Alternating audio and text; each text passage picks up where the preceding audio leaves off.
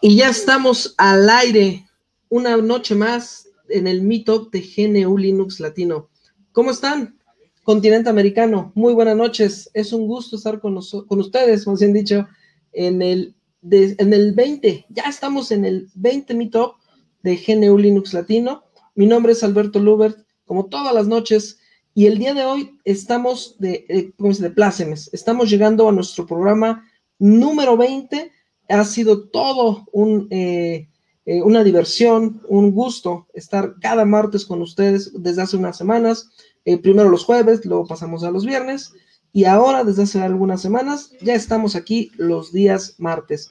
¿Cómo se encuentran? Esperemos que estén ustedes todos muy bien y estén disfrutando con nosotros estos programas del Meetup de GNU Linux Latino que hacemos con mucho, mucho gusto para ustedes. el día de hoy estamos también esperando a que, a que nuevamente Yair se, se conecte. Ya saben, a veces anda por aquí, anda por allá, pero en cualquier momento estoy seguro que va a llegar. Hoy nos va a dar la sorpresa, estoy más que seguro.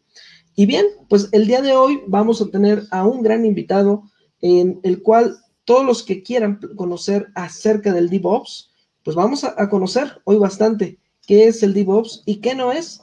Eh, tenemos a un gran invitado que estamos a punto de comenzar que hoy aceptó la invitación a estar con nosotros en, la casa de GNU Linux Latino, el Meetup. Y queda con ustedes nuestro invitado de esta noche, Jacim Anaya. Hola, Jacim, ¿cómo estás? Muy buenas noches. Hola, buenas noches. ¿Se escuchan bien? Ahí está, ahí te escuchamos perfecto. Perfecto. Bueno, buenas noches, gracias por la invitación. Qué buena pues esperamos que, sea un gusto el, que estés con nosotros y vamos a aprender mucho. Esta noche tenemos un gran tema, Spook Tales from DevOps. Espero haberlo interpretado bien y si no, ya dice el oso como el expresidente copetudo. Muy bien, Jacín. Pues las cámaras y los micrófonos son todos tuyos. Gracias. Ok, eh, vamos iniciando la presentación. Ahí está. Ok, eh, bueno, esta plática, más que hablar de qué es DevOps, quiero contarles algunas historias de terror que me ha tocado en algunos proyectos y qué no es DevOps, cómo no interpretarlo. Así que comenzamos. Adelante. ¿Alguien me quiere platicar qué es DevOps? ah, levante la mano. Ok.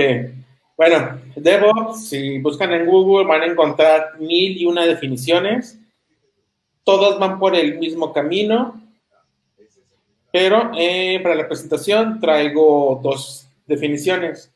Una, la de AWS, que se me hace una de las más acertadas, que nos habla que no solamente son herramientas, sino que se habla de práctica, se habla de filosofía, se habla de cultura, todo para entregar aplicaciones y servicios eh, a una muy alta velocidad, teniendo interacciones, haciendo las mejoras lo antes posible y pues que cambiando el paradigma completo de cómo trabaja nuestra organización dentro de ella.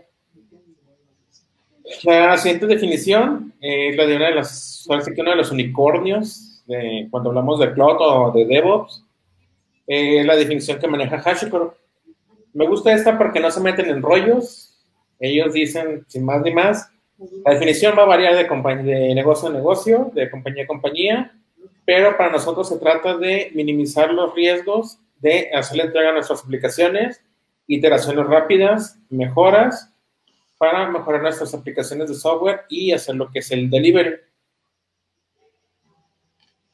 Pero ahora sí que, como me ha tocado ver, en mi caso comencé como DevOps de manera un tanto fortuita. Eh, cuando entré a Chipsil hace algunos años, entré como especialista en infraestructura y la persona que sea DevOps en el equipo se cambió de línea de negocio. Y fue básicamente, Jacín, eres el nuevo DevOps, tienes que aprender lo que estoy haciendo, tienes dos semanas, así que todo esto es tuyo ahora. Así fue como empecé mi carrera. Eh, como DevOps, me pasé de sysadmin y fue un tanto de golpe el cambio y también me tocó ver eh, Afortunadamente, en ese caso, en la filosofía de DevOps, sí estaba bien implementada en su mayor parte. Y después de cambiar a otros proyectos, me tocó ver cómo es que se distorsionaba el concepto o cómo lo adaptaba cada quien a lo que entendía. Y hay algunos casos que me ha tocado ver. Y el primero que les voy a platicar es: DevOps no es un stack de herramientas. Van a haber muchas compañías, y seguro más de uno de los que me está escuchando va, a traer algunos flachazos de recuerdos de, ah, estamos usando Jenkins, ya somos DevOps, tenemos DevOps. Y no. Hay quienes dicen que por tener un Git, tener un Jenkins, ya tienen DevOps, porque son herramientas que son de, de DevOps. Pero no.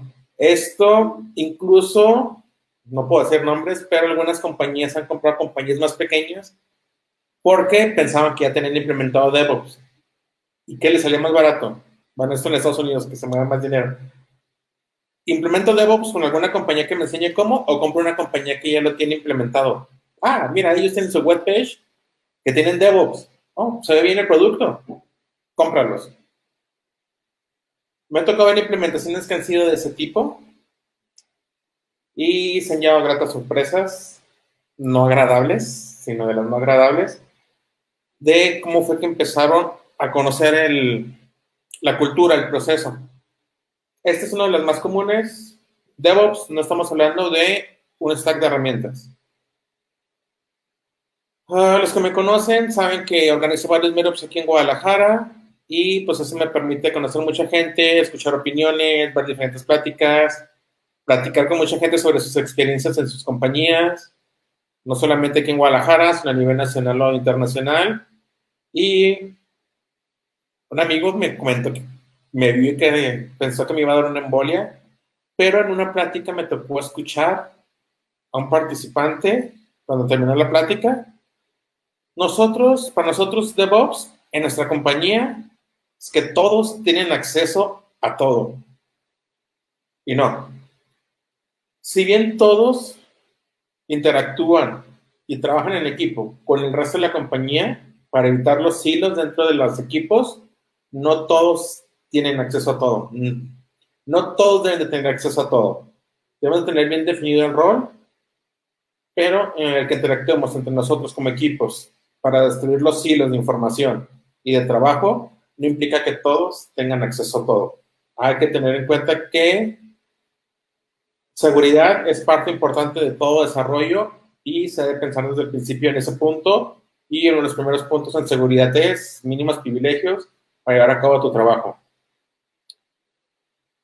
Otro punto es, creo que perdí la cuenta de cuántas veces he visto esto que utilizan Jenkins como un cron job con esteroides. Compañías que tienen los pasos en Bash ejecutándose de manera secuencial para llevar a cabo un build, hacer el deploy de un artifact, que no es otra cosa más que un secure copy, pero para ellos era, tenemos continuous integration, tenemos DevOps, Jenkins está haciendo el trabajo. Estás haciendo el trabajo con una aplicación en Java que consume recursos, que te da una interfaz web que no lo estás utilizando, para hacer lo mismo que puedes hacer con un script de cuatro o cinco líneas? No. Si bien Jenkins fue de las primeras herramientas, originalmente llamada Hudson dentro de Oracle, Jenkins ya cuando se empezó a desarrollar afuera, fue de las primeras herramientas y de las que más popularizó el concepto de DevOps, fue de las que sirvió más como para abrir mercado, por decirlo de una forma, la forma de llevarlo, de trabajarlo, no en todos los casos ha sido la correcta. En muchos casos lo manejan con, yo, con esteroides, con su respectivo peso por ser Java, pero sí es uno de los principales puntos que te llegas a topar de qué no es DevOps y de los errores más comunes que hay cuando la gente está trabajando o tratar de implementarlo desde cero. Otro punto es que si bien DevOps es parte esencial, no es, vamos a automatizar todo. Si bien te ayuda es parte de la cultura automatizar tu QA, automatizar tus deploys. No todo es automatización. Hay procesos que no son compatibles. Y si dices alguien, ah, estamos automatizando todo porque ya somos DevOps. Hay que tomar con pincitas ese tipo de comentarios. Porque ahí es donde viene nuestra deuda técnica.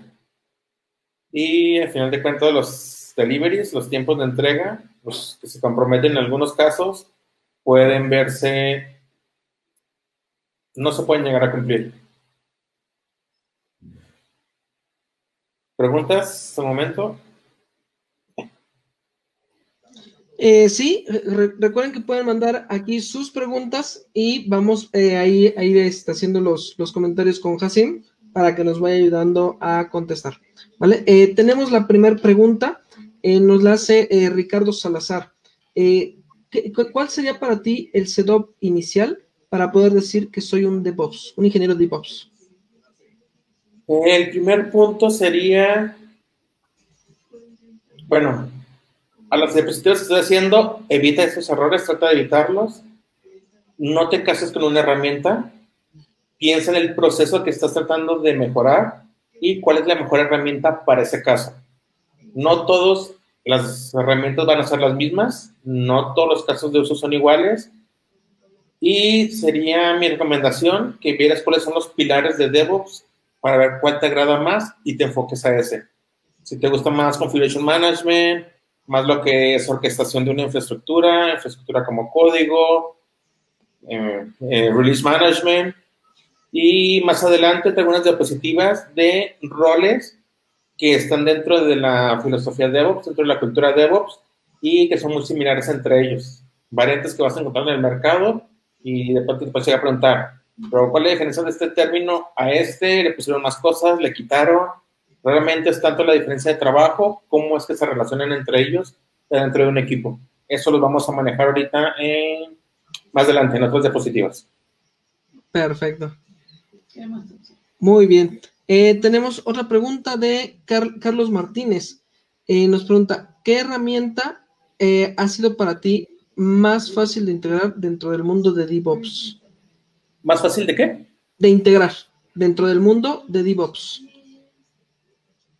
Ah, dependería de qué parte del proceso estaríamos hablando. Si estamos hablando desde control de de nuestros repositorios de código, ya estamos hablando de los bits, estamos hablando de manejar los artifacts, eh, después de la infraestructura, el configuration management para nuestra infraestructura, nuestras aplicaciones. Pero ahora sí, más que sencillo de implementar, sería cuál es mejor para tu caso de uso y vete acostumbrando de preferencia a la administración por eh, línea de comandos o acostúmbrate a trabajar con los APIs, que va a ser lo más fácil de administrar. Perfecto. Muy bien. Eh, por el momento no tenemos más preguntas. Ok. Otro, perdón, de los puntos que se van a encontrar es, empezamos a trabajar con Docker, ¿ya somos DevOps? No. Los contenedores, si bien son geniales, Docker los popularizó de una manera muy extensa, por decirlo de una forma, pero a final de cuentas Docker no es más que un administrador de contenedores. en Giants para contenedores hay muchos, no solamente Docker, está Rocket, hay muchos más. Tenemos más herramientas para administrarlos como Podman. Ya si estamos hablando de orquestar ya ambientes grandes, pues está Kubernetes, está Docker Swarm. Si bien los contenedores casi siempre están dentro de nuestros ambientes DevOps, hay que tener cuidados en nuestra aplicación, realmente los requiere. No porque utilicen contenedores, ya están haciendo DevOps, ya nuestra aplicación va a jalar de manera mágica con un Kubernetes. Tal como se muestra aquí, muchos proyectos, y me acuerdo uno que me tocó en el caro, de la aplicación, trabajaba como legacy application, monolítica, bastante grande, y, ah, pues, en contenedores y meten en un Kubernetes.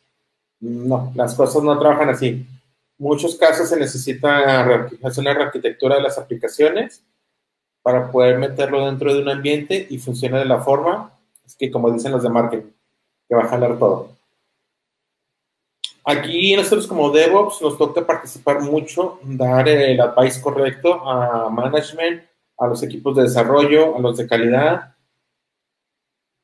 No siempre se nos da la voz como DevOps, pero se nos, se nos dé la voz, hay que estar ahí picando las costillas porque eso nos va a ahorrar dolores de cabeza en el futuro.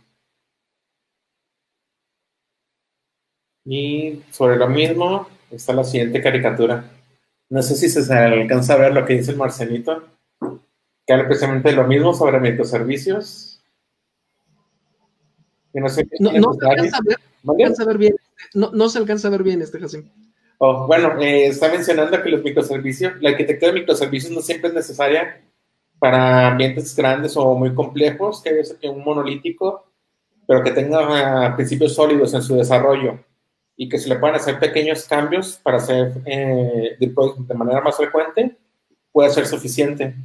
Es lo que les está diciendo el Marcelito. Entonces, como que... Ah. Ahora, ¿cómo lo hacemos? sí.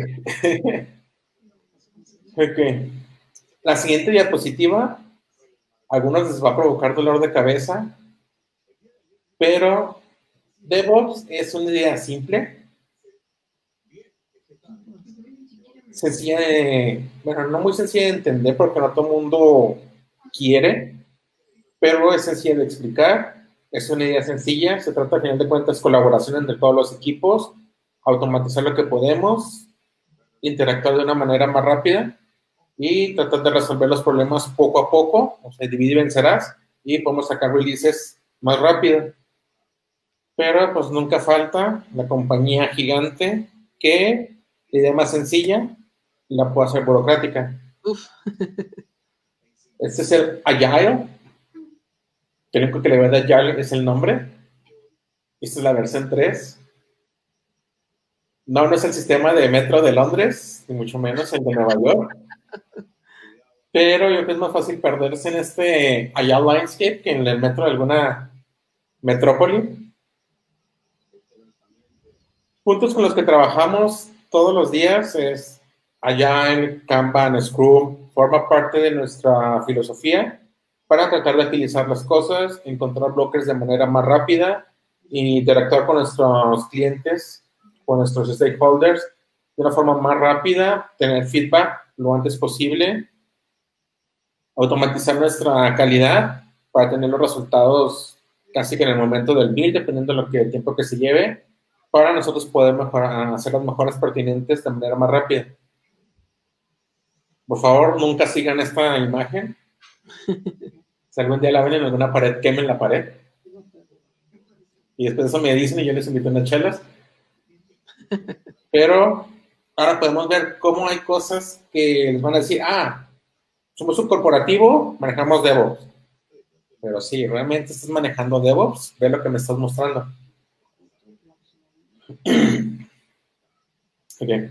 Para el siguiente punto, vamos a hablar de unos, algunos de los roles que nos podemos llegar a topar en un equipo de DevOps. Algunas tareas hacen fit dentro de un rol de DevOps, pero las separan porque si la naturaleza, si bien es una, un componente, un módulo, puede ser un rol completamente distinto o más especializado, como el primero, el de SAI, Cyber Activity Engineer no, no significa sysadmin really expensive. Lo siento, los sueldos sí son, pero las tareas van mucho más allá del sysadmin. El SRE, su tarea es tratar de encontrar todos los puntos débiles de una aplicación, consumir toda la telemetría que nos pueda dar nuestra aplicación y nuestro ambiente, para en base a eso tomar decisiones y tratar de volver el sistema resiliente, que sea capaz de soportar fallas en cualquiera de sus componentes, ya sea código, frontend, backend, infraestructura, cualquier punto que sea necesario para la aplicación, tratar de adelantarse a los problemas para reaccionar a ellos. ¿Preguntas al momento? Eh, sí, eh, tenemos eh, una pregunta de Diego Hernández. Un, saludo, Diego, que estuviste con nosotros hace unos programas. nos dicen, hace poco vi un tweet donde decían, ninguna tecnología puede resolver los problemas de tu organización. Resuelve los problemas y luego aplica la tecnología. Si tu sistema está mal, meter tecnología lo hará exponencialmente peor. Y creo que tienen razón. A veces se quieren tapar los problemas que se tienen con la última tecnología. ¿Qué opinas al respecto, Jacinto? Hay una teoría, no me acuerdo el nombre, discúlpenme, prometo las mañana. Ok. Que habla específicamente el caso del gigante, del gigante azul, que está por dividirse para el siguiente año. Ya saben de cuál estoy hablando, el de 109 años. El que dice que todo software desarrollado por una compañía es un reflejo de su cultura interna, de sus procesos internos, de cómo se da su comunicación. Y el ejemplo que manejaba era Westfield Application Server. Si alguien ha trabajado con Westfield, con WAS, sabrá específicamente a qué me refiero. Mañana se los pongo, se los tuiteo. Ahorita no me acuerdo el nombre de la teoría, pero sí, esto, es algo muy común. Hay estudios sobre ello y es básicamente todo software cerrado por una compañía refleja la comunicación y los procesos internos de esa compañía, haciéndolo prácticamente una fotografía de la misma. Es algo que se ha estudiado y hay libros al respecto. Ok, perfecto. Entonces, ahí, como es, mañana, en cuanto tengamos el, el, tweet, inmediatamente lo retuiteamos y ahí lo van a poder ver para los que nos siguen en las redes sociales. Muy bien. Eh, nos pregunta Fátima Palacios, ¿qué certificación hay para decir que soy DevOps? Bueno, las certificaciones son sobre tecnologías en específico. No hay una aplicación que te diga, ah, una certificación que te diga, ah, ya eres DevOps. Ahí sería, ¿hacia qué te quieres especializar? ¿Te quieres especializar en automatización de infraestructura? Ah, ok, pues busca las de AWS, las de Azure, las de GCP. ¿Quieres especializarte en infraestructura como código? Ah, pues está la certificación de Terraform. ¿Quieres certificarte en Configuration Management? Eh, están las certificaciones de Chef, están las certificaciones de Ansible. En el caso de repositorios, no que yo sepa, hay certificaciones en Git o algo así. Pero pues sí, pero depende, no como DevOps te vas a certificar, porque no hay una certificación para DevOps, sino en tecnologías o aplicaciones que se utilizan regularmente en un ambiente DevOps. Eso sí vas a encontrar. Y ya dependería del pilar de DevOps a que te quieras dedicar. Eh, que administrar una cloud, en infraestructura como código, configuration management.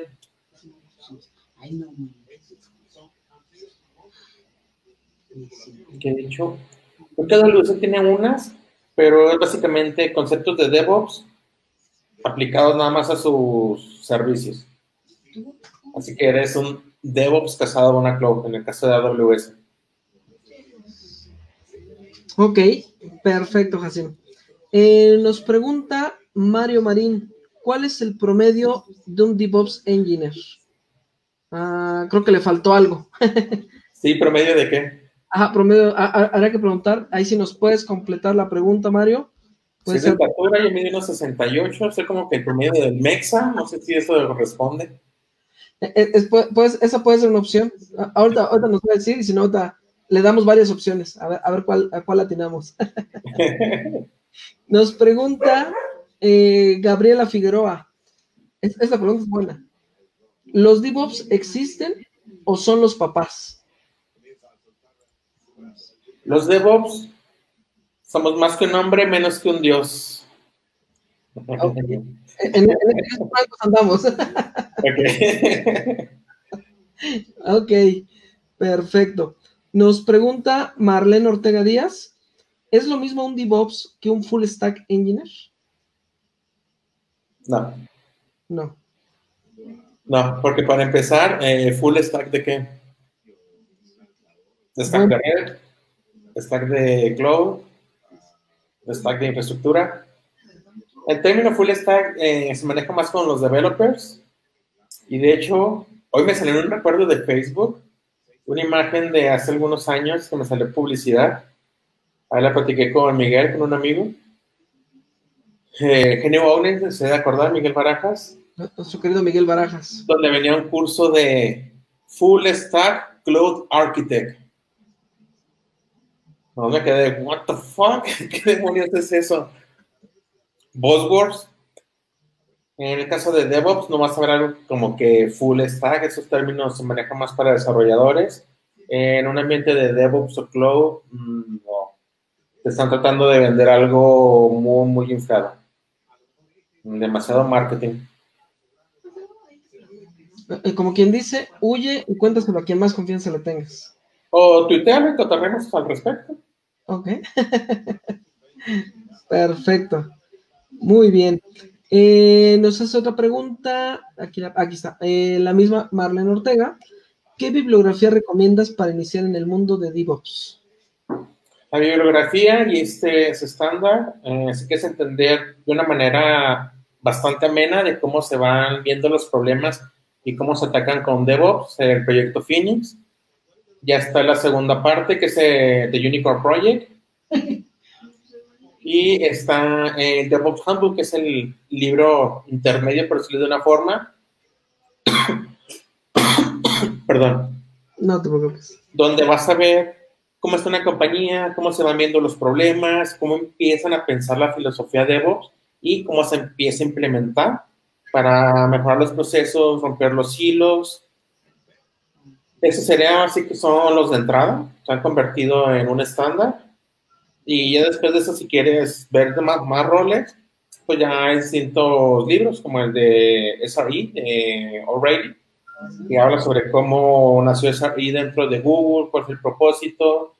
En el primer capítulo menciona cuál es la relación con DevOps y te llevan de la mano bastante amigable. La segunda parte de ese es prácticamente un checklist de qué tienes que hacer para poder llegar a ese punto. Ok, Perfecto. Eh, aquí estaba otra pregunta. Ya, aquí está otra pregunta. Nos dice eh, Gabriela Figueroa, ¿se puede considerar un sysadmin? ¿Es lo mismo que un DevOps? muchas cosas se traslapan, por decirlo de una forma, pero el DevOps tiene un poco más de tareas y más que es cuestión de cultural. El sysadmin, perdón, el DevOps tiene muchas tareas como sysadmin, ha hecho muchas tareas similares, pero el DevOps interactúa más con los equipos, trata más de romper silos.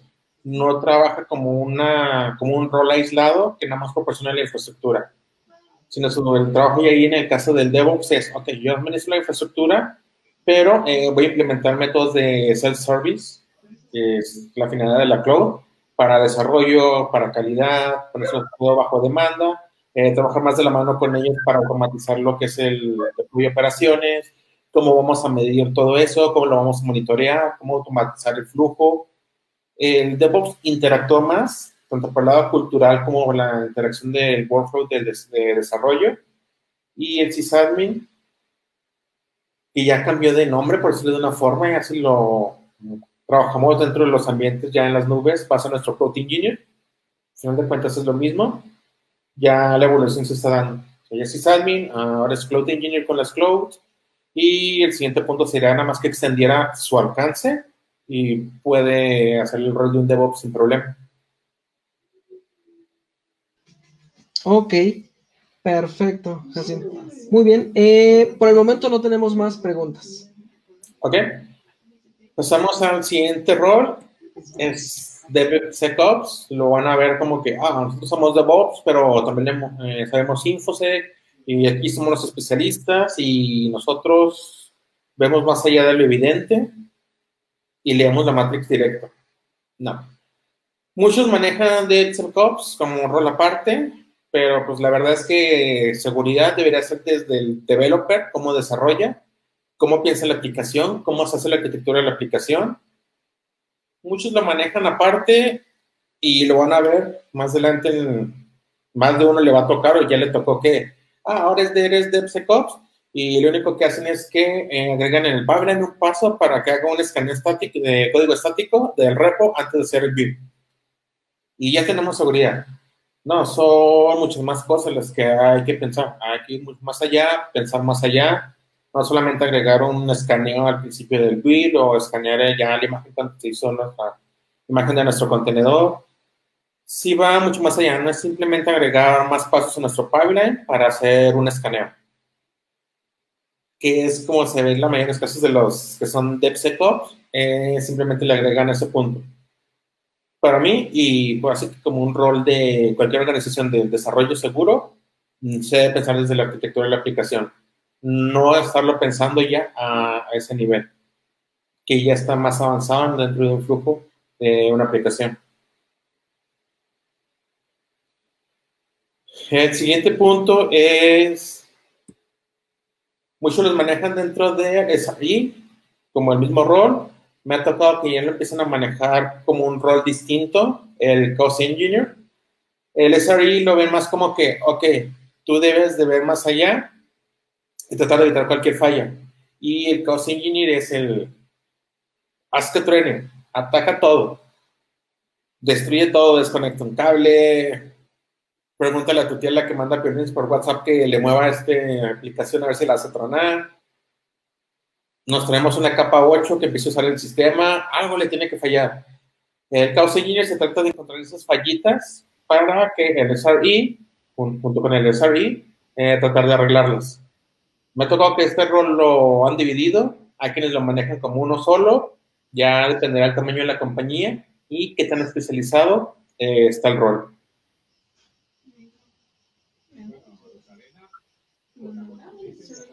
Otro punto que van a ver es el Net Box. Me encanta esta explicación que dan los de Cumulus Networks, que ahora le pertenece a NVIDIA. Es DevOps, pero con Net en el frente. Eh, técnicamente está correcto. el punto del Net DevOps es como el DevSecOps, que eh, si bien trabaja con filosofía de DevOps, estamos trabajando con todos los silos de la compañía, tratamos de evitar esos silos, tratamos que todos los equipos trabajen en conjunto. En NetDevOps, algunas compañías lo manejan como quien les va a dar el servicio de la red. Algunos proyectos ya son tan grandes que así como manejamos servidores escala, también se tiene que llegar a manejar redes al mismo nivel y aquí empezamos a manejar conceptos como lo que es SDN, el Software Defined Networking ya no manejamos eh, equipos específicos como switches muy específicos, sino que ya manejamos switches bare metal. Nosotros decidimos que el sistema operativo está corriendo sobre ese switch. Veanlo como un servidor genérico.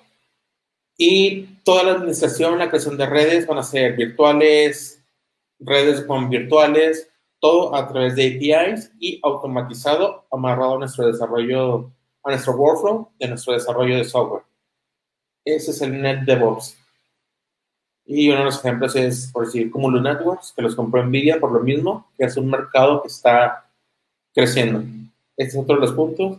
Realmente, vacantes como Net DevOps no me ha tocado que sea algo muy popular, pero sí es un mercado que está creciendo. Lo van a encontrar más como SDN Engineers, más que como DevOps. Y pues, como cualquier cosa que está de pronto de moda o empieza a ser un término más común, nos vamos a encontrar con buzzwords, palabras rimbombantes, dirían ya alguien ya mayor. Vamos a encontrar roles como el DevSecOps. Se pienso que esta foto le queda perfecta. sí, si buscan en LinkedIn el rol, lo van a encontrar. Y más de una persona. más, más allá de LinkedIn o dentro de LinkedIn únicamente. espero que no fuera porque si no ya se miraría demasiado. Esos que se ponen ITIL, PMP, PM, TOGAF, no sé qué tanto antes del título. Esta es la foto perfecta para ejemplificarlo. El, el montón de medallitas a la vez innecesarias. Sí. Sí, un magneto ahí ya capacitados. No sé si hay preguntas. Eh, sí, eh, llegó una de Miguel Ángel Flores nos pregunta si nos puedes compartir un caso práctico de DevOps. Caso práctico, algún ambiente que ya tenga implementado o algo que se hizo desde cero o qué tan práctico. Ok, a ver si ahorita no, nos puedes ahí escribir, eh, Miguel Ángel, para, tener un poquito más de, información. Eh, nos, nos, comenta eh, Andrés Herrera, el trabajo colaborativo entre developers y, e ingenieros de DevOps se complica cuando hay personas en general que nunca quieren aprender cosas nuevas. ¿Cómo piensas que se puede crear una cultura de DevOps en este tipo de empleados? Es una muy buena pregunta. Bueno, como me ha tocado manejar ese tipo de empleados o compañeros de equipo en este caso, en proyectos pasados ha sido con el uso del Scrum Master. Ok. Más que ir con ellos y, oye, necesitamos hacer esto. Lo mejor que pueden hacer es una definición de tareas bien específica y con asignación de recursos y tiempos. Ahora sí que no atacar a la persona, atacar el proceso y no quieres participar, ok, vamos a empezar por ajustar el proceso y a través del proceso vamos a cambiar un poco la cultura de la gente. Algunos casos se va a poder, otros no, pero ese es uno de los primeros approaches y el más sencillo para alguien que no tenga muchos soft skills. Y la otra, empezar a trabajar con la persona eh, de manera directa. Eh, algo que he hecho en el pasado han sido, los peer review, eh, hacerlos de manera como peer programming y empezar a interactuar con esa persona muchas veces no es tanto que no quieran aprender, sino que se sienten desbordados, se sienten amenazados. Si logras hablar con la persona y ver cuál es la causa real, muchas veces es, pues, me cae mal, pueden llegar a atacar ese lado. Recuerden que nosotros como DevOps, parte de nuestro trabajo es conciliar los equipos para que interactúen entre ellos mejor. Ok, perfecto. Eh, nos comenta, ah, ya, está aquí la respuesta de, Miguel Ángel. Eh, nos dice un ejemplo práctico desde cero. Ejemplo práctico desde cero. Ah, me tocó un proyecto, pero fue pesadilla. Donde estoy en cierta compañía roja. Eh, y que el proyecto tenía como dos meses y fueron algunos ejemplos que les puse. De aplicación monolítica, pensando que meterlo ya en contenedores ya era suficiente para que la aplicación pudiera escalar sin ningún problema. Eh, estaba corriendo Docker sobre máquinas virtuales, y se metían los contenedores, eso era desarrollo. Eh, para calidad se tienen que pasar directo a Kubernetes. La aplicación de los contenedores llevaban tres scripts que interactuaban entre ellos dentro del mismo container fue más como que cómo no se debe de hacer DevOps, más que cómo hacerlo. Y me ha tocado proyectos donde los ambientes están más estandarizados o nacieron ya con esa filosofía, como fue el caso de cierta compañía de ropa con la que estuve, en la que estuve trabajando en San Francisco, que ya también definido los roles, que era lo que hacía cada uno y cómo era workflow. En este caso yo nada más administrar lo que era Secrets Management e interactuaba con los equipos de seguridad y con developers y el equipo de configuration management. Yo les proveía el servicio, eh, les ayudaba con dudas que tenían de su implementación de Chef y eh, lo que era el workflow estaba bastante bien definido todo. Era raro que llegaran a developer conmigo por algún problema con sus, con sus pipelines. Conocido de los mejores ejemplos, pero era algo ya que estaba implementado. Pero ellos, estaban ellos estaban pagando eh, consultoría al respecto y en el caso de la tool que yo daba soporte, que era Baul, tenía soporte oficial, porque las implementaciones sí habían sido, sino que, ok, tú ya eres el nuevo DevOps, empiezo a hacer todo. Sí tuvieron una muy buena asesoría para empezar a trabajar así. Ok, Perfecto, Jacim. Eh, nos comenta José Luis Chiquete, que está aquí viendo el programa, y estuvo con nosotros también en, el tercer Meetup de GNU Linux Latino. Nos dice, cuando nació el concepto de DevOps, se les olvidó invitar a los de el, al equipo de seguridad. ¿Qué, opinas? Ah, como ya mencioné, ahorita estaban los de DevSecOps y al menos compañías grandes en las que he estado, y a mí yo he casi siempre infraestructura, ahora DevOps. También me tocaba tomar los cursos de desarrollo y en compañías grandes siempre era parte de los cursos. ¿Sabes qué? La seguridad no es un paso ya cuando tenemos el bill hecho. La seguridad se piensa desde que se piensa el código. ¿Cómo lo vas a manejar? ¿Cómo se va a manejar desde la arquitectura? El mismo código ya debe llevar la seguridad implícita. No te tengas a que hagas un, escaneo ya después, ya cuando mandas a hacer, a hacer el bill es lo que me ha tocado ver en compañías, Johnson, startups, ha sido más consultoría, no ha sido con startups de algún producto, por lo que en esos casos no, no sabría darte una opinión. Pero en las compañías grandes que he estado, sí ha sido parte desde el desarrollo, el Secure Development, ha sido parte de la filosofía. Y tal y como puse en la diapositiva, la verdad es que la seguridad debe ser parte del proceso de DevOps desde el principio no debe ser un rol aparte. Ok, ahí ya, ya tienen esta gran respuesta, que seguro les va a ahorrar muchos dolores de cabeza y sobre todo muchos dólares en la cuenta. Muy bien. Eh, nos pregunta, ya aquí está la respuesta ahora sí de, Mario Marín, perdón, la pregunta completa. Eh, ¿Cuál es el salario mensual promedio de un DevOps? Salario mensual promedio de un DevOps va a variar por ciudad. estás en México, Monterrey es mucho más caro que Guadalajara. Y Guadalajara es mucho más caro que lugares como Querétaro, Aguascalientes y demás. Pero un DevOps eh, senior debe ser unos 45, 50 para arriba. Senior. Y ya después que dependiendo del sapo de la pedrada, tanto de la persona cómo se venda, cómo sea, qué tan bueno sea para negociar su sueldo, como la compañía que tanto puede ofrecer. Diría que ese es un promedio. Va a haber seniors que compañías les compren más caros o les compren más baratos, porque no puede negociar. Pero sí, diría que de ahí para arriba. Ok. Un promedio, es algo promedio. Sí, conozco varios tabuladores de compañías, pero pues no los puedo decir así nomás por, efectos de copyright. Listo. Por el momento no tenemos más, más preguntas. Este, ok. Eh, la siguiente diapositiva eh, salió en una página de Facebook el día de hoy. También lo vi en el chat de CISARMI. Sigan esa página ahí en Facebook, en el Cloud Group. Vamos a ver así cómo se va manejando la evolución de operaciones. Ops, DevOps, DevSecOps.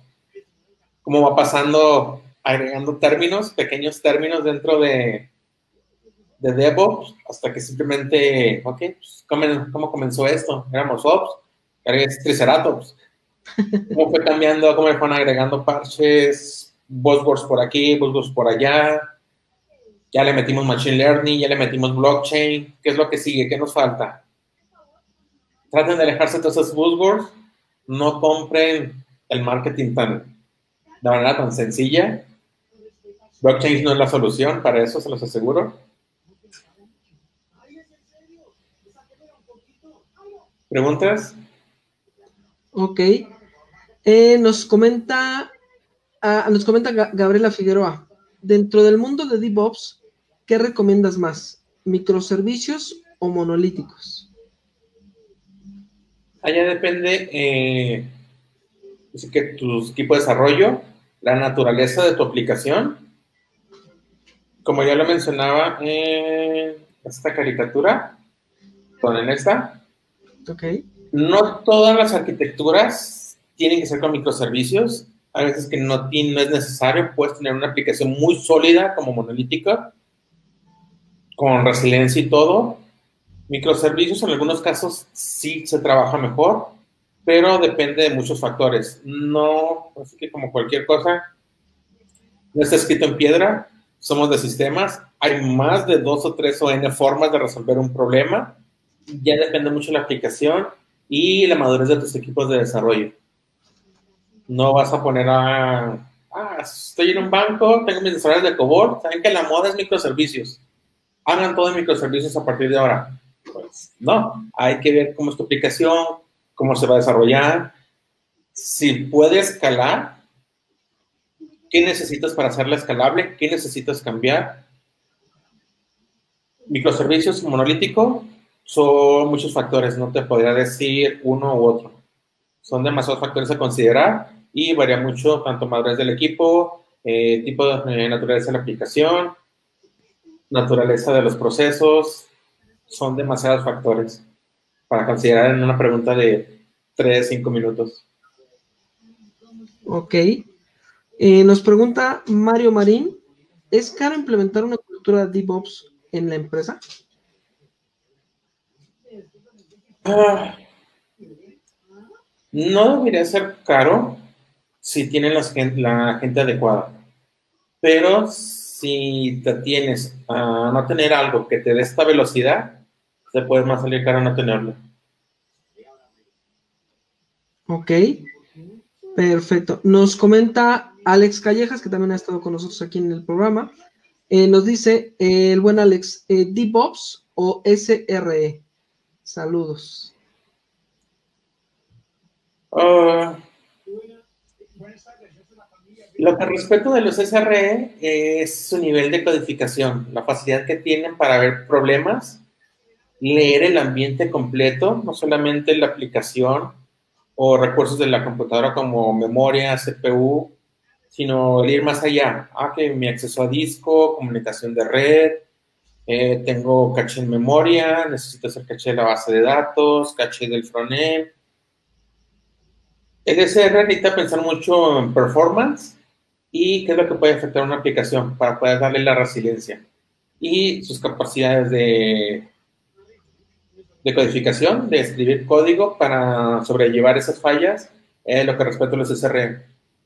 Para mí es un rol muy específico y es un rol que al momento no se ha devaluado como otros.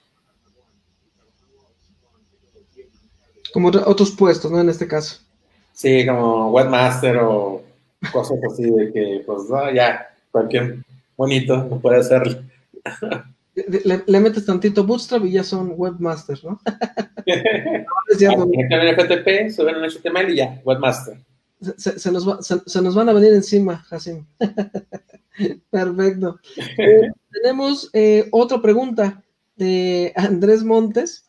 Nos dice, ¿cómo venderle DevOps a los directivos para cuestión de presupuestos?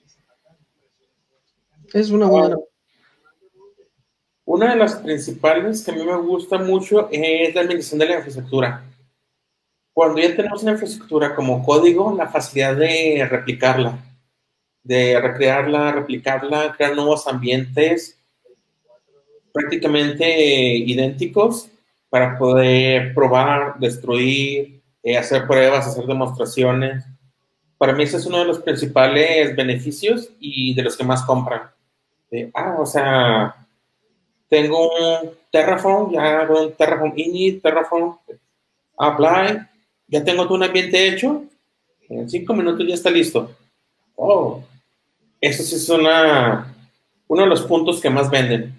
El otro, el Configuration Management, la facilidad que tenemos con herramientas como Ansible o Chef, de tener toda una granja de servidores con exactamente la misma configuración, trabajando de manera conjunta y en el caso de algún cambio, la facilidad con que nosotros podemos replicar todo.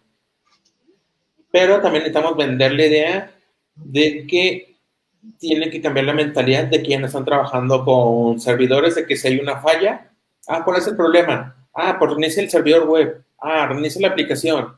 Ah, chécate que esté la, conectada a la base de datos. No, se debe vender la idea y se entra acostumbrada de que está fallando ese servidor, mátalo y hacen deploy de uno nuevo. Aquí ya no nos preocupamos por sanar a nadie. Aquí lo enterramos y ponemos un monito nuevo. Que es el concepto de mascotas contra ganado. Si se logra vender esa idea, van a tener puertas verdes y van a trabajar muy, a gusto. Y los beneficios se van a ver. Ok, sí, justo ahí nos complementaba ahorita Andrés, eh, ¿qué gana una compañía, no? Desde el punto de vista económico, que es lo que a veces más nos, nos pelean, ¿no? En, este caso, eh, los directores que, no necesariamente conocen de, tecnología. Sí, sí, y ahí hay que tener cuidado, no porque la cloud se vea bonita, se vea barata. Ah, me cuesta .007 centavos de dólar un servidor a la hora, una hora al mes. Sí, pero no es uno, son varios, todo el día, los prendes, los apagas. Perdón, tu developer hizo una prueba y se le quedaron prendidos ahí todo el fin de semana y ¿sabes qué? Este developer ya renunció y dejó todo su ambiente prendido. hay varios puntos a considerar. El monitoreo, el monitoreo constante es parte esencial. Tenemos que siempre saber qué es lo que está pasando en nuestro ambiente para evitar esos costos que se nos puedan elevar todos los costos ocultos. Sí. Ok, perfecto. No, dólares.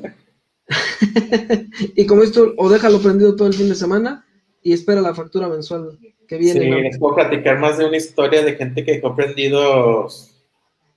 La empresa con la que estoy en San Francisco, después de una demo, dejaron el ambiente prendido. Fue una factura como de 3.700 dólares a fin de mes. de una demo se les olvidó a pagar. Y en la compañía con la que estoy trabajando en Dallas, un developer dejó el proyecto y un mes después, más o menos, se dieron cuenta del ambiente que fue prendido, que era donde estaba trabajando él, y fueron como dos mil dólares la factura de ese ambientito. Wow. Pues ahí, lo tienen. Eh, sobre todo el monitoreo, ¿no? Sería el, el consejo. Sí, el monitoreo es parte esencial de, de Intentamos saber qué está pasando en nuestros ambientes todo el tiempo. Totalmente de acuerdo. Eh, nos pregunta Marlene Ortega, eh, ¿cuáles serían las herramientas base que debo tener en cuenta para poder ser un DevOps? Herramientas base, Git, lo vas a trabajar diario. Para empezar lo puedes bajar Git así el core para conocerlo. Puedes empezar a trabajar con frontends como GitHub, GitLab, Bitbucket, el otro día en una plática salieron varias otras versiones de otros GitHub bastante ligeritos, ahorita no me acuerdo el nombre, pero estuvieron platicando. Ese sería lo primero, aprender a manejar repositorios, eh, después una herramienta para hacer los builds, aléjate de Maven, te recomiendo más Gradle para que lo vayas conociendo y automatizar tus builds. Eh, después de eso, ¿con qué vas a orquestar todo? Jenkins, TeamCity, GitHub, GitLab también te ofrecen ambientes. Eh, CircleCI es otro. Son los que me acuerdo ahorita. ¿Cuál te sientes más cómodo para trabajar? Uh, configuration Management, ¿cómo vas a mantener tus servidores? Chef y Ansible. Recomendación sería Ansible. Eh, ¿Con qué nube quieres trabajar? ¿Cuál te quieres especializar? Ahorita las dos más grandes es AWS y Azure. GCP no sé por qué no está como que nunca ha tenido ese auge, no, no ha podido dar ese salto para ser realmente competitivo contra AWS o Azure, cosa que Azure ha logrado mucho en los últimos cinco años. Ah, esta semana está viendo la nube de Oracle y contra la nube de Oracle que me tocó manejar hace tres años a la de hoy ha cambiado bastante. Sí, están invirtiendo. Y así que la nube que quieres especializarte, ¿Y qué se me está pasando? Eh, estamos bien, estamos Fish Management, hablamos de nubes. Ya, creo que sería así grandes rasgos. Ya depende, o sea, que la línea que quieres especializarte. Pues sí, mi recomendación sería Git, Gradle, Ansible y la nueva de tu preferencia. Si aprendes Jenkins, apréndelo, no lo uses como un cron Ok. Eh, justo nos lleva a una siguiente pregunta de, Gabriela Figueroa nuevamente. Nos dice, ¿recomiendas trabajar con GitHub Actions? Eh, es una buena solución. Eh, he leído muy buenos comentarios. No me ha tocado utilizar en ningún proyecto. Pero pues al final de cuentas lo que debes entender bien es el proceso, qué es lo que está haciendo. Y depende de tu proyecto, si puedes implementar algo desde cero ten en cuenta que muchos de esos casos te estás casando con un proveedor. Realmente ese proveedor vale la pena como para que te cases o qué tan estándar es tu proceso como para digas, ah, ok, dejo GitHub, ya me sale muy caro, me paso a GitLab. Realmente, ¿cómo puedo hacer esa, manera, esa migración de una manera más fluida, más estandarizada? Ok, perfecto. Eh, por el momento no hay más preguntas. Ok, eh, bueno, DevOps ya tiene, los procesos ya tienen rato entre nosotros. El buzzword es más reciente, ya vimos algunos casos, pero pues también hay sabiduría milenaria, como podemos ver gracias a Hattori Hanzo. Ah, me encanta esa frase. Ok. Y hasta aquí llegaría mi presentación. Ya la siguiente diapositiva son mis datos de contacto. Eh, me pueden localizar en Twitter. Ahí respondo bastante rápido. Yo creo que lo que me gana en responder es Alex Callejas, que parece que responde a la velocidad de bot. Y ahí está mi correo. Cualquier duda, pregunta, comentario, chelas, ahí me encuentran. Ah, ahí, no, sabemos si contesta Alex o el bot de Alex. Sí, o es el mismo. O es el mismo, exactamente. O contesta más rápido Alex que el bot. Sí. eh, la mayoría de mis redes sociales me encuentran así como Hasepio. Eh, está mi correo, cualquier pregunta, comentario, ahí me localizan. Y pues así que si hay más preguntas, adelante. Perfecto, vamos a esperar ahí unos segunditos en lo que terminan, eh, más o menos tenemos el, minuto de, diferencia entre la transmisión y el en vivo para que lleguen las, las preguntas. Eh, déjame ver si no se me pasó alguna aquí. Según yo no. Em, sí, aquí se me había pasado una. Eh, ¿Cuál es el, el lenguaje de programación que debo aprender para poder incluir dentro de esta cultura de DevOps? Nos, lo pregunta Norma, Norma Ramírez. El estándar para los DevOps prácticamente es Python. Con Python. Python para automatización y el que está tomando mucho auge para la creación de herramientas de CLI, de terminal, es Go. Van a ser los dos que van a ver más extendidos o publicitados. Prácticamente eres DevOps, vas de la mano con Python si tu tarea o tu intención es automatizar tareas o crear tools para DevOps, muchos están inclinando por Go. Ok, perfecto. Eh, nos llega aquí otra, otra pregunta de Miguel Ángel Ramírez. Eh, hola, Jacín, ¿cuál de los pilares de DevOps consideras que brinda el mejor costo-beneficio? Costo-beneficio, venderte como DevOps. Ah, costo-beneficio que te puedes vender, yo creo más caro es eh, API, pero también las entrevistas son más complicadas, te van a pedir bastantes code challenge interactivos y demás. Eh, de ahí sería, ya que los de Configuration Management o que estés en el rol de InfoSec. Son de los que están, que podrías cotizarte mejor, por decirlo de una forma. Ok, perfecto. Nos pregunta Raúl Gutiérrez, eh, ¿cuál, ¿cuál, sería la, la, primera forma de ingresar al mundo de DevOps para una startup que no tiene tanto capital? La mejor forma de ingresar al mundo de DevOps, ¿verdad? Sí.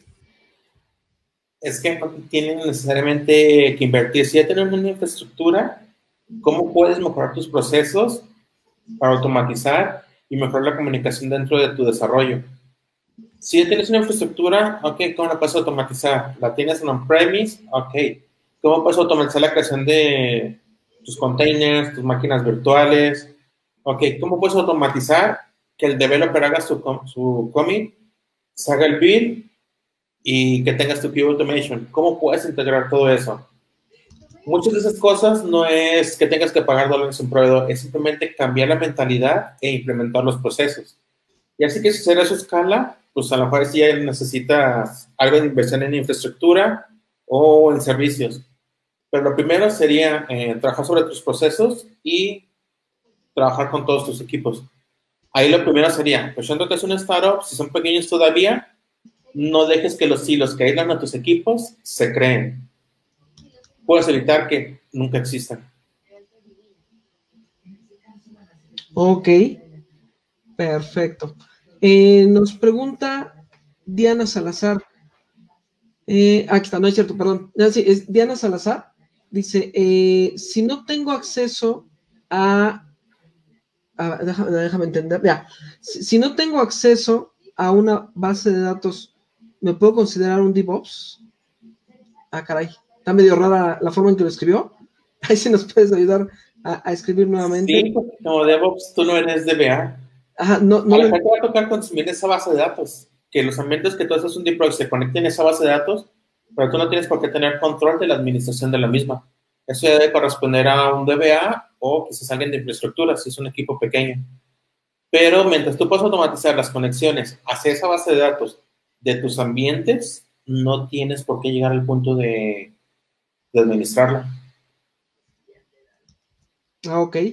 A ver, a ver, igual yo creo que ahí va también muy relacionado con la siguiente pregunta, que es de nuestro estimado Roberto Andrade Fonseca, que también estuvo con nosotros aquí en el décimo Meetup de GNU Linux Latino. Sí, ahí estuve presente. ¿Un DevOps puede hacer las tareas de un DBA? Mm, no me ha tocado ver DevOps que se metan ya cosas que manejar como namespaces, tablas y demás. Si la base de datos te permite llegar a automatizarlo, o sea, consumir todo a través de una API, en teoría no debería haber problema, porque para nosotros trabajar con APIs debe ser algo natural. Pero si llegar a administrar, por ejemplo, un Oracle o un DB2, mm, no, si les veo los roles bastante distintos. El consumirlo, mm, no hay problema. Pues ya el administrarlo, el estar a cargo de ello, sí ya varía un poco. A menos que sea como un servicio cloud, que es hacer conexiones, construir una API, ya tenemos plugins para hacer la integración con nuestro monitoreo, ahí sí ya sería más servicio, porque más que una base de datos, estaremos consumiendo un servicio. Y estaremos pensando en nuestra aplicación como algo Club Native. Ok, perfecto. Eh, nos escribe Rafael Sánchez. Eh, en promedio, ¿cuál es el ahorro que mi empresa o negocio puede tener al implementar una cultura de DevOps? No sabría decirte cifras, depende mucho el tamaño de la compañía, realmente cuánto está gastando, dónde puede haber un ahorro. No es lo mismo eh, hablarlo en un equipo dentro de IBM, algún proyecto dentro de Intel, que hablarlo en un proyecto, en una startup que está empezando.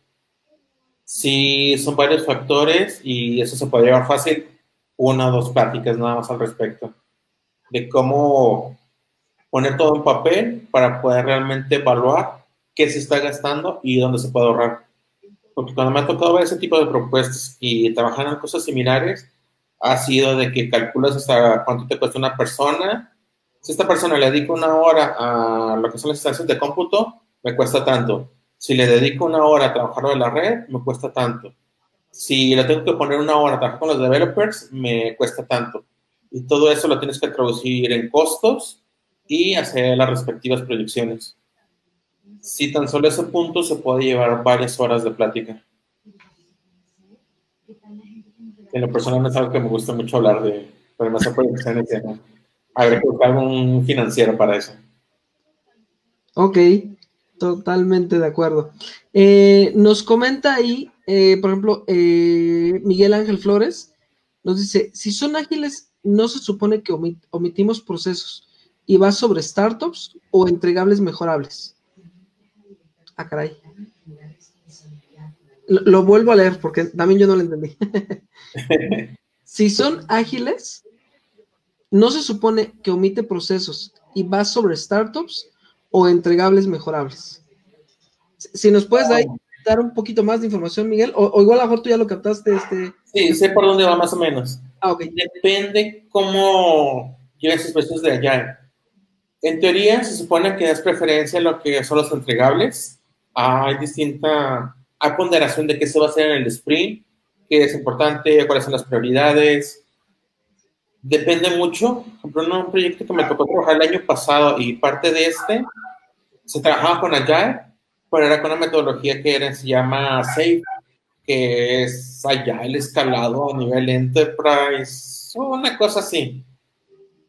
Y si la diferencia de una Agile normal de que tienes tus sprints, tu stand-up, retrospectiva, grooming y demás, sí variaba algo la metodología, porque cada tres meses teníamos una dos días de planeación y era todos los equipos de toda la compañía, se vivían interdependencias con otras líneas de negocio completamente distintas, se hacían planeaciones en conjunto. Así que dependería qué tan acorde el libro, por decirlo de una forma, llevarían su metodología Agile o cuál de las variantes que tiene eh, llevarían. Un de Safe, que es allá en escalado, en Enterprise, algo así, sí se hacía más pesado. Era, no era tan rápido los procesos, sí tenía ciertos puntos burocráticos, pero era porque era nivel compañía, y estamos hablando de una compañía de, estamos hablando de la oficina, éramos como 1.600 personas. Ok, perfecto. Muy bien, entonces ahí ya, ahí se, si nos, nos contesta ahí, Miguel, si estábamos bien por ahí o ya lo, lo este, o, cerramos. Muy bien. Y como lo dijimos, como dice, el, es este, una promesa es, un, eh, nomás, ¿cómo dice? Este, bueno, olvide la frase, pero ya está con nosotros aquí nuestro querido Jair Rodríguez. ¿Cómo estás, Jair? Muy buenas noches.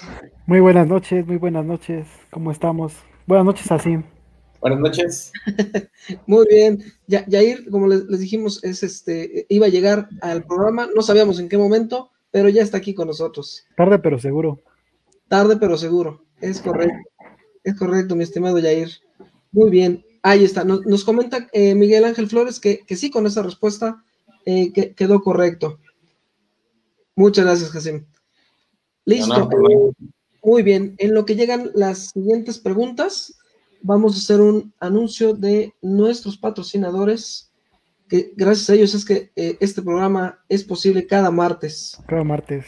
cada martes, es correcto. A ver, denme un segundo.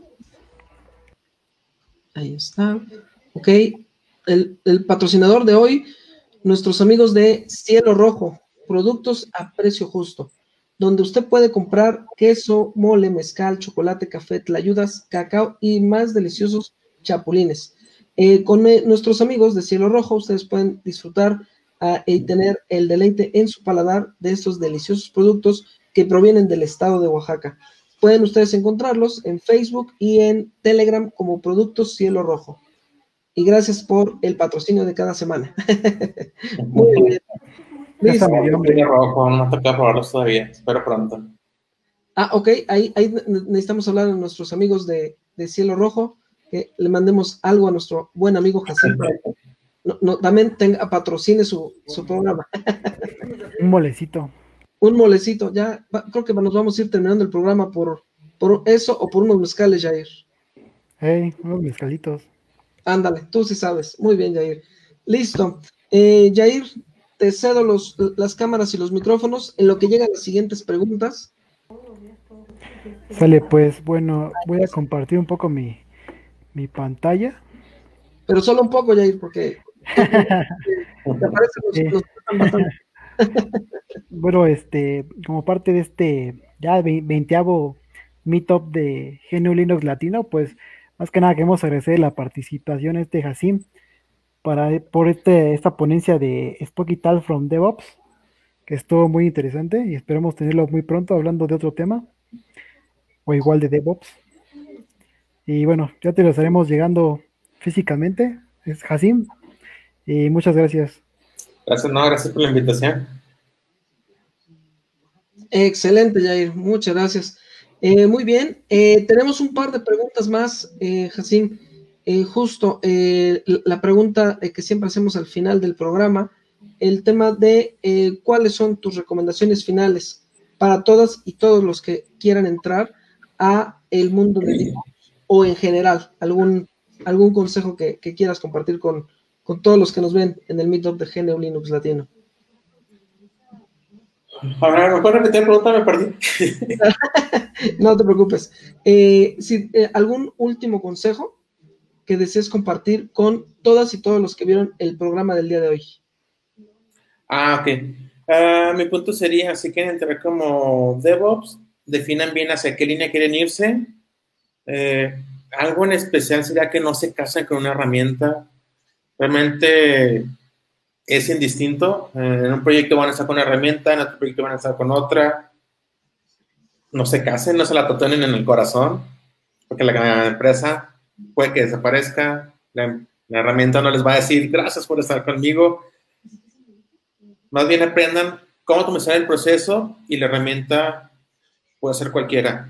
Siempre estén abiertos a aprender, siempre tengan curiosidad sobre cómo jala esa herramienta adentro puedes utilizar herramientas open source para que en caso de tener que cambiar va a ser más fácil, más amable, van a tener, tener el conocimiento, van a entender cómo jala y pues, la herramienta va a ser lo de menos. Otro punto es mejor trabajen sus soft skills. Yo vengo del mundo de sysadmin y si era de, ah, somos sysadmin, yo encerro en el data center, no me hablen. ¿Quieren mi ayuda? Abran un ticket. Y no, la verdad es que necesitamos los soft skills, necesitamos interactuar con la gente. Eso nos ayuda bastante a crecer, nos ayuda a crecer como compañías, como personas, como profesionales. Trabajar en los soft skills es esencial. Perfecto. Siempre sí. por aprender algo nuevo. Perdón, te interrumpí, este Jacín. No, que siempre tengan curiosidad por aprender este algo nuevo. Totalmente de acuerdo. Eh, Jair, ¿tenemos alguna pregunta del lado del estudio? Del otro sí. lado del estudio. Sí, fíjate que por aquí tenemos una pregunta de nuestro amigo Roberto Andrade Fonseca. Nos dice que si todas tus herramientas son open source. Sí, prácticamente todas. Todo lo que he trabajado los últimos años ha sido con las versiones open source. El único lugar donde me tocó trabajar la versión Enterprise fue con la versión de Pau realmente la diferencia de la Enterprise a que es cerrada o pagas una licencia contra el open source, no hay mucha diferencia para un mortal, por decirlo de una forma. Eh, por ejemplo, en el caso de las herramientas de HashiCorp, que fueron las que más me ha tocado usar los últimos años, de las diferencias, las versiones de paga Enterprise contra las open source, para que sientas una diferencia de tener que pagar es porque tu ambiente está corriendo en múltiples nubes, en múltiples zonas geográficas. Ahí sí te serviría la versión Enterprise. De ahí en más, no. La versión open source está sobrada y pues puedes aprender. O sea, a final de cuentas el código ahí lo tienes, hay que leerlo, entender cómo jala todo, hay que desarmarlo, hacerlo tronar para entender cómo jala es parte del SRE también entender cómo son esas cosas para tratar de anticiparse las fallas. Y sí, es algo también que bastante suave de los DevOps, que muchas, prácticamente la mayoría de nuestras herramientas con las que trabajamos a diario son open source. Son pocas las que ah, hay que pagar una licencia para poder usarla. O podemos tener ambientes sin necesidad de tener que pagar una licencia por si de un chef para tener todas las funcionalidades. O un Samsung Galaxy para tener todo el soporte. Sí, en general, mayoría de nuestras herramientas con la versión open source va a ser más que suficiente. Muy bien, Jacim. Pues ahí lo tienes, Roberto. Esa es la respuesta de Jacim. Nos dice Andrés Montes, buen contenido, Jacim, muchas gracias. Gabriela Figueroa dice, ¿qué opinas de Spinnaker? Gran plática. Spinnaker, Spinnaker uh, está muy suave si manejan bien su mercado, supieron irse sobre las fallas que tenía Jenkins. Si bien el ambiente de levantar, el primer ambiente no es tan amigable, ya cuando está funcionando está bastante poderoso. De hecho, si no me equivoco, de los clientes más grandes que tiene ahorita y con los que agarró más auge fue con Salesforce, que es donde lo utilizan bastante. Pues ahí está Gabriela.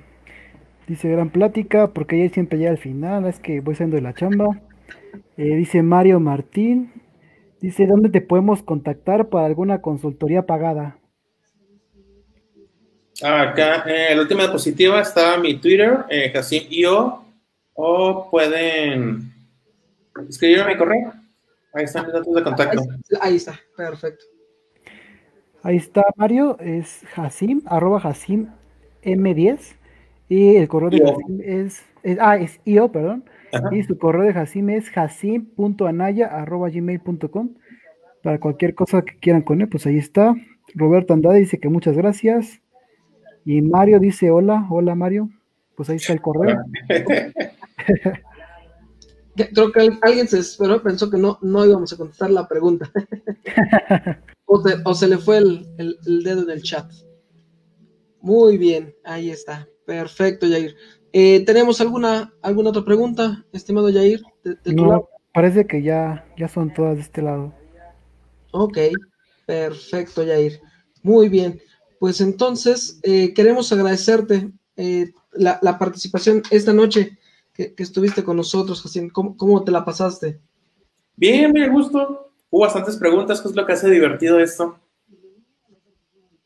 Es correcto. Y como bien comentaba Yair, esperamos que, que, sea la primera de muchas veces que estés con nosotros. Hoy te tocó a ti empezar la segunda temporada. Ya tenemos la primera temporada que eh, fueron los primeros 19 meetups y contigo hacemos el inicio de la segunda temporada. Vamos por los 40 meetups de GNU Linux Latino. Perfecto. Muchas gracias por, por haber participado con nosotros. Ha sido un placer recibirte en Diagonal Home, Diagonal GNU Linux Latino. Y Jair, eh, ¿cuándo nos vemos? ¿Cuándo, nos volvemos a ver para el siguiente meetup? Nos vemos el próximo martes por el mismo canal a, la misma hora. Ok, ¿A, qué hora nos vemos, Jair? Nos preguntan. A las 9 de la noche. Martes a las 9 de la noche. Ok, como ya lo dijo eh, nuestro querido Yair, todos los martes a las 9 de la noche tenemos una cita, ustedes y nosotros, para ver el gran Meetup de GNU Linux Latino. La próxima semana tendremos a un gran invitado, como hemos tenido eh, todas estas 20 noches de, de GNU Linux Latino, y la próxima semana, pues no será la excepción. Jacim, muchísimas gracias. Ha sido un placer tenerte esta noche con nosotros. Gracias por la invitación. Estamos en contacto. Claro que sí. Muy bien. Jair, aunque llegaste tarde, también es un gusto siempre estar contigo. Eh, Muchas gracias por la plática. Es, muy importante la plática, es correcto. Totalmente de acuerdo. Pues nos vemos entonces la próxima semana. Eh, también nos preguntaban ahí eh, dónde podemos ver el contenido de este mito. Pueden suscribirse. Aquí en la parte de abajo aparecen nuestras redes sociales. Twitter, Facebook, YouTube, arroba GNU Linux Latino en Telegram, GNU-Linux-Latino.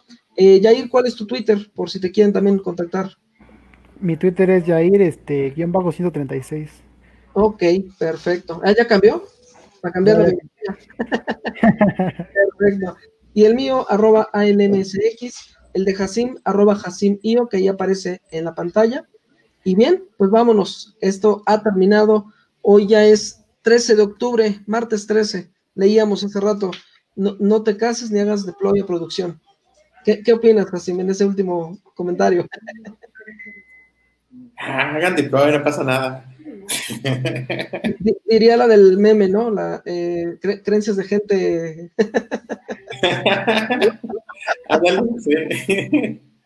Muy bien, pues vámonos. El programa ha terminado. Jair, muchísimas gracias, Casim. Un abrazo a la distancia. Recuerden, hashtag quédate en casa.